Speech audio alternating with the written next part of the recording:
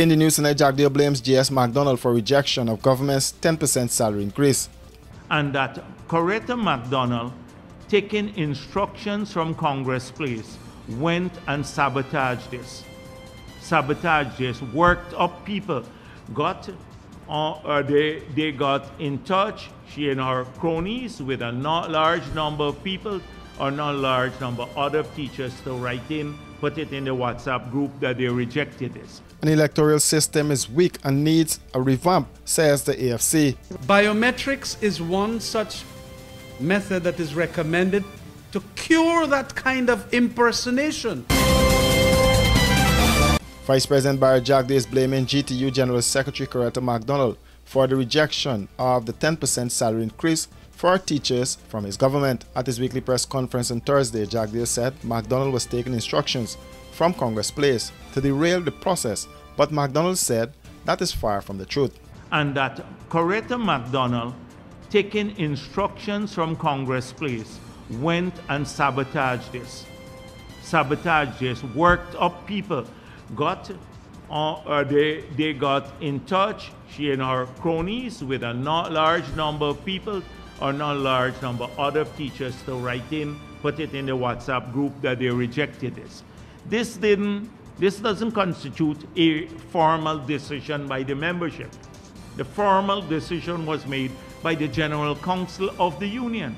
But Coretta McDonald, and why is this so? We've already established that Coretta McDonald is illegally in Parliament.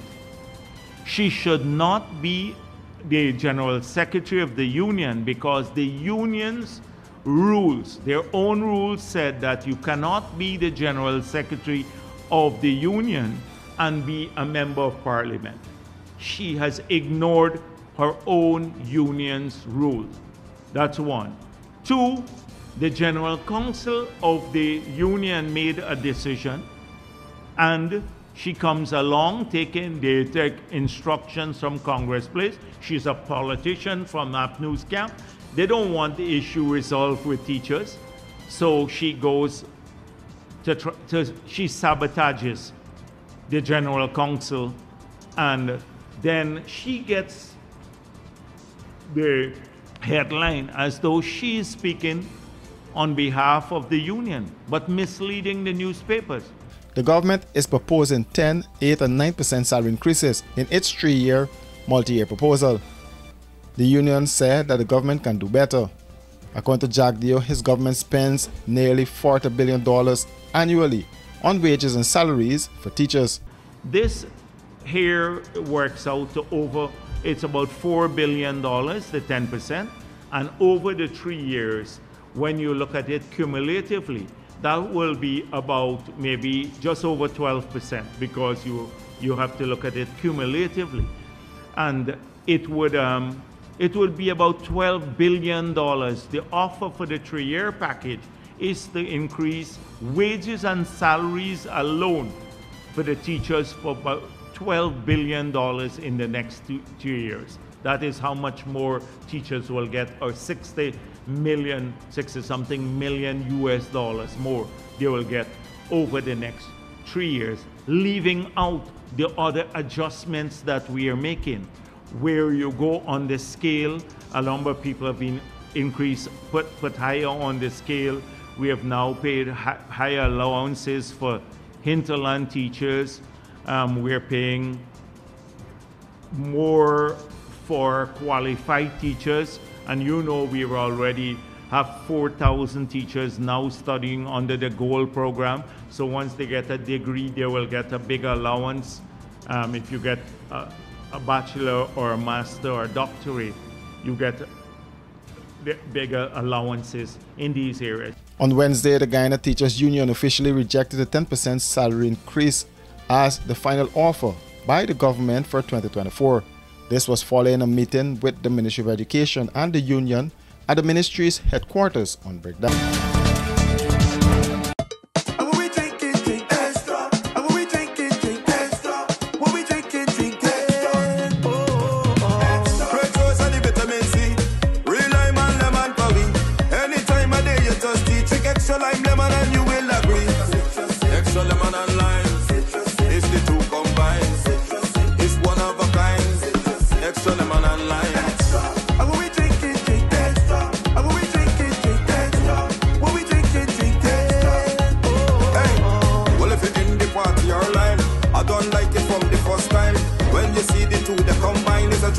And you will never decline. Extra lemon and lime. It's the two combined. It's one of a kind. Extra lemon and lime. Extra lemon and lime. Taste the citrus in every sip. Guyana, get ready for the ultimate celebration of local talent and flavor. ExxonMobil's Uncapped Marketplace and Food Festival is coming to the Guyana National Stadium on Saturday, August 31st and Sunday, September 1st. From authentic seasonings and sauces to mouth-watering dishes, there's something for everyone. Bring the whole family for a day of fun. Admission is free. We've got exciting games for the kids while you shop and explore. Don't miss ExxonMobil's Uncapped Marketplace and Food Festival on August 31st and September 1st at the Guyana National Stadium. See, See you there.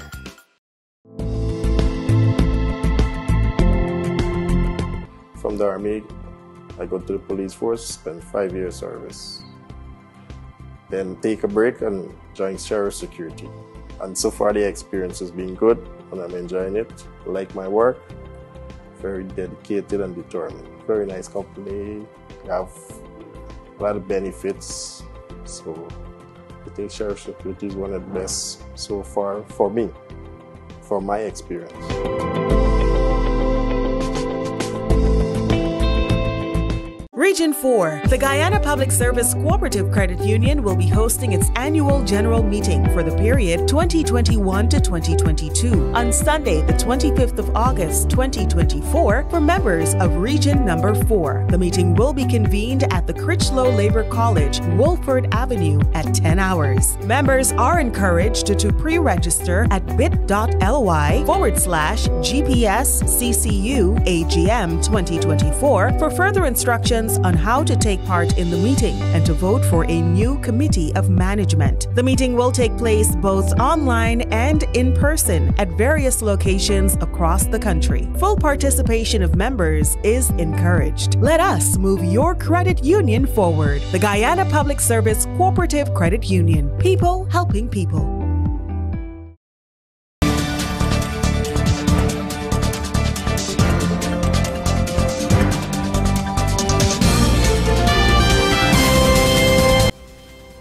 The responsibility rests with the Guyana Elections Commission to conduct free, fair, and credible elections, says the Alliance for Change. At its weekly press conference, executive member of the party, Beverly Allard, said that there is growing concern that the next general and regional elections will once again dissolve into unrest unless improved systems are implemented at GECOM. Assurances by the Guyana Elections Commission that there are quote unquote safeguards to prevent multiple voting, vote impersonation, and other forms of quote unquote skullduggery, the term they used, appear empty in light of what transpired in 2020. There are facts that the Commission seem not to be addressing. Fact one votes were cast in the name of deceased persons. Fact two Immigration records revealed that votes were cast in the name of persons who were out of the jurisdiction on polling day. Fact 3.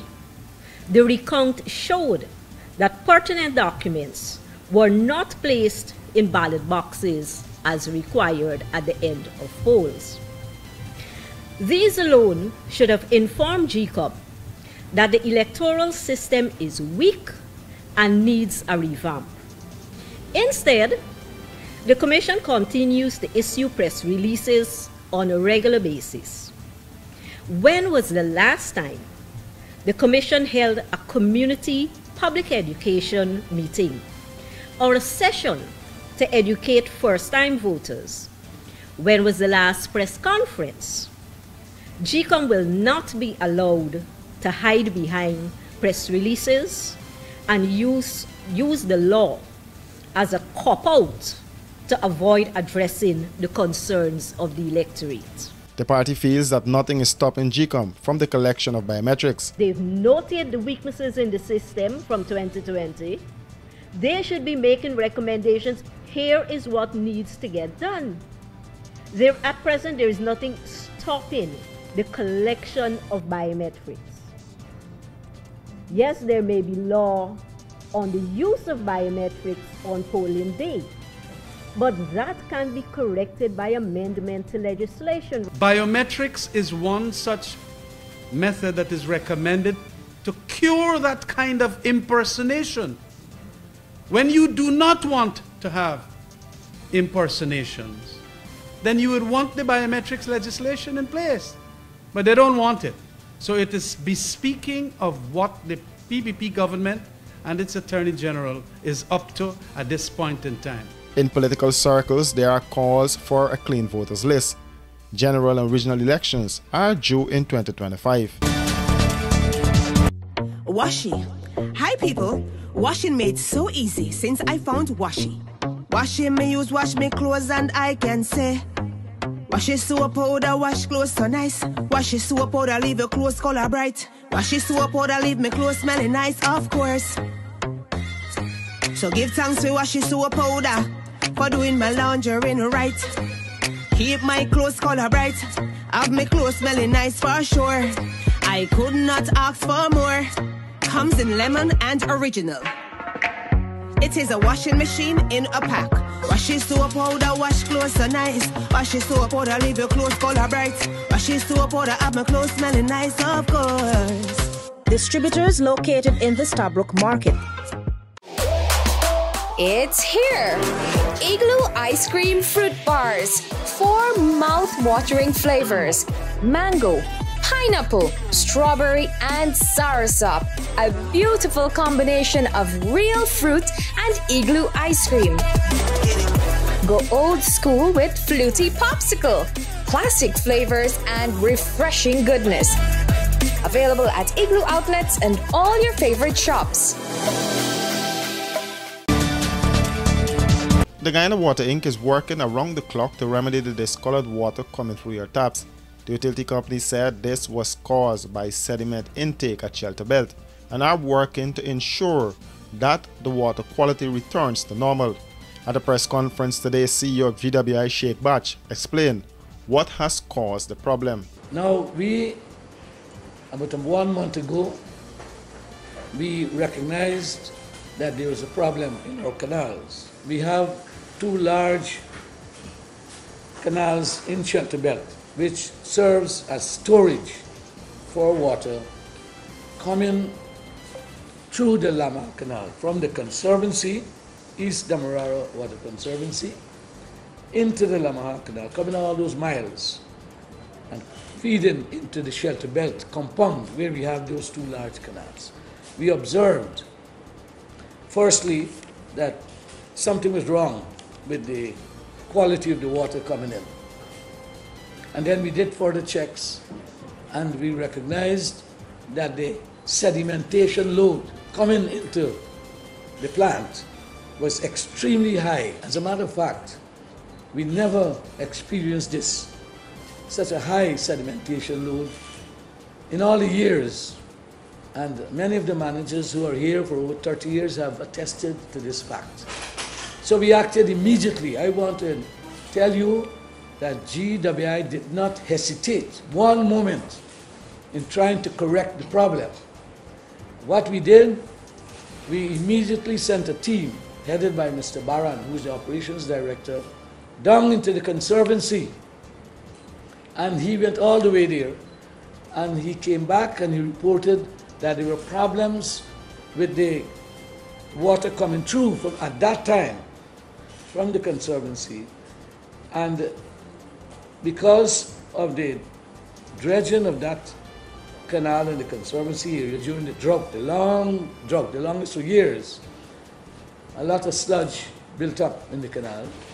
And with the heavy rainfall, it moved down into our systems here, our reservoirs. Baksh said he was concerned about the situation and the effects it was having on households. He said GWI has taken immediate steps to strengthen its system. Every day we've been out there in the various wards. Mr. Niles, the manager, has sent out people in all his teams to flush the water out of the system as much as possible. And this is ongoing. Already we are seeing some relief. And we have taken samples of the water on a regular basis. We have seen um, through the flushing, through the cleaning of the canals and so on, that the water quality and the water color in particular has, is improving. It will take a couple more days to bring it to the acceptable um, nor normalcy of the water supply.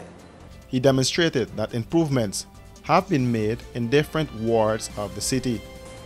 You know, uh, one, for example, this one comes from Queenstown, this one is coming from Lodge, and so on, from four different wards. It's improving, and we recognize, but a lot of the build up in the network, the transmission and distribution network in the city, the water remains. So constant flushing to get rid of that is in progress. According to the CEO, the situation was avoidable. For these and other stories, do visit us at our website www.rdproductiongy.com.